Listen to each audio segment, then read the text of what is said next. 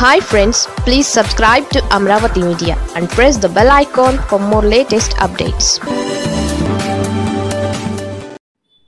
Potula సునీతకు చుక్కెదురు. TDP నుంచి red signal.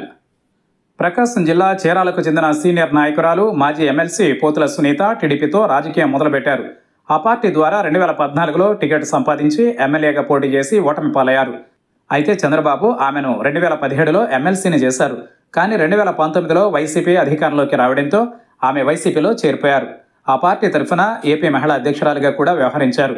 ఆ టైంలో టీడీపీ అధినేత చంద్రబాబుని టార్గెట్ చేస్తూ ఘాటైన విమర్శలు చేసేవారు పోతుల సునీత. ఇక రెండు వేల ఇరవై మూడులో జగన్ ఆమెకు మరోసారి ఎమ్మెల్సీ టికెట్ ఇచ్చారు. అయితే తాజా ఎన్నికలలో వైసీపీ ఓటమి పాలు కావడంతో ఆమె వైసీపీకి రాజీనామా చేశారు. తన ఎమ్మెల్సీ పదవిని సైతం వదులుకొని టీడీపీ వైపు రావాలని అనుకుంటున్నారు. శాసన మండలిలో వైసీపీకి తొలి షాక్ ఇచ్చింది పోతుల సునీతనే. ఇదిలా ఉంటే ఆమె ఖాళీ చేసిన ఎమ్మెల్సీ సీట్ అయితే ఆమెకు దక్కేది లేదు. ఎందుకంటే ఆమెకు టీడీపీలోనే ఎంట్రీ దొరకడం లేదు అని అంటున్నారు. ఆమెను పార్టీలోకి తీసుకోవద్దని శ్రీకాకుళం నుంచి నెల్లూరు దాకా ఉన్న టీడీపీ నేతలంతా చంద్రబాబుకు గట్టిగా డిమాండ్ చేస్తున్నారు. ఆమె వైసీపీలో ఉన్నప్పుడు టీడీపీ మీద చంద్రబాబు చేసిన విమర్శలను గుర్తు చేస్తున్నారు. అంతేకాదు చంద్రబాబు ఎమ్మెల్యే టికెట్ ఇచ్చారు.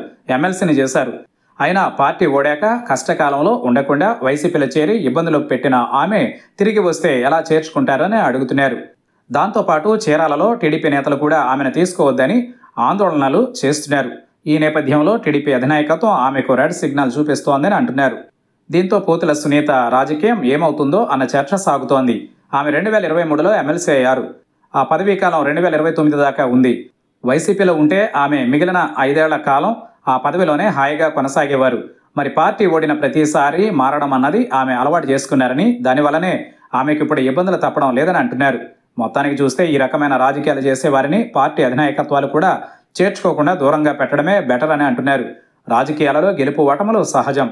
కానీ ఓడిన పార్టీలో ఉండమని చెబుతూ గెలిచిన పార్టీల్లోకి వెళ్ళి కండువాలు కప్పుకోవడం అంతకుముందు ఉన్న పార్టీని విమర్శించడం ద్వారా టెంపరీగా రాజకీయ ప్రయోజనాలు దక్కవచ్చేమో కానీ లాంగ్ టర్మ్లో మాత్రం పొలిటికల్ కెరీర్కే ఎండ్ కార్డు పడిపోయే ప్రమాదం ఉందన్నది పోతుల సునీత వ్యవహారం తెలియజేస్తోందని అంటున్నారు.